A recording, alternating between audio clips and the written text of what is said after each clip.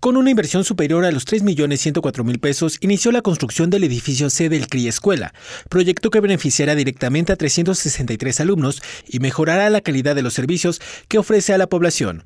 La gobernadora del estado, Lorena Cuellar Cisneros, acompañada de la presidenta honorífica del sistema estatal DIF, Mariana Espinosa de los Monteros Cuellar, encabezaron la colocación de la primera piedra de ese nuevo edificio. En su mensaje, la mandataria señaló que esta obra representa el compromiso del gobierno estatal por brindar mejores oportunidades educativas a los jóvenes.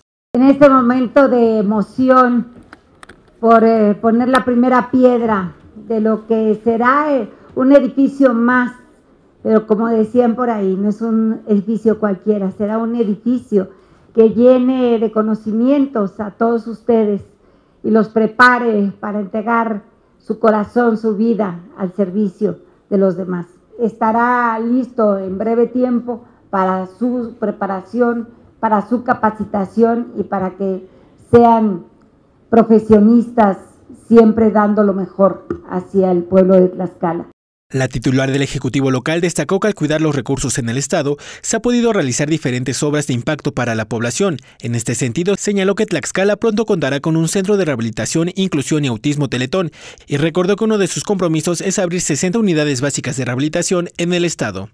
En su oportunidad, la presidenta honorífica del CEDIF, Mariana Espinosa de los Monteros Cuellar, destacó la importancia del convenio firmado con el Sistema Nacional DIF para la construcción de este nuevo centro, que fortalecerá la formación de terapeutas físicos en el Estado. Un paso que refleja nuestra firme convicción de ser un referente en la formación de profesionales comprometidos con la salud y la rehabilitación. Hoy el gobierno del Estado de Tlaxcala, el CRIT, marca el inicio de un proyecto que sin duda dejará una huella profunda en el estado de Tlaxcala, en especial en el corazón de quienes más necesitan de profesionales en terapia física.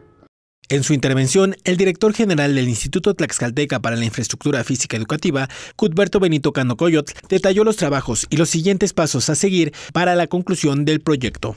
Implica la construcción del edificio C, estructura, dos niveles, eh, la planta baja consta de dos aulas más un módulo sanitario, así como la construcción de una cisterna.